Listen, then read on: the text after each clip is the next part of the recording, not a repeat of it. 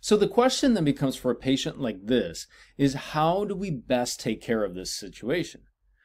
Well, I can tell you what the answer is not. The answer is not crowning every tooth in the back of her mouth, uh, because most likely if we don't do anything with her bite first, and we only do, you know, her bottom teeth, for example, we're going to run into the same issue that we ran into on this background.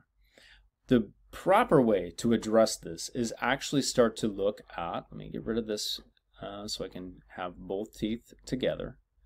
The proper way to address this is actually to create a better bite relationship on all of her teeth first and create the necessary space needed for her to function. And then when we're done with that, and that would be with Invisalign or clear aligners or even traditional orthodontics, once that's done,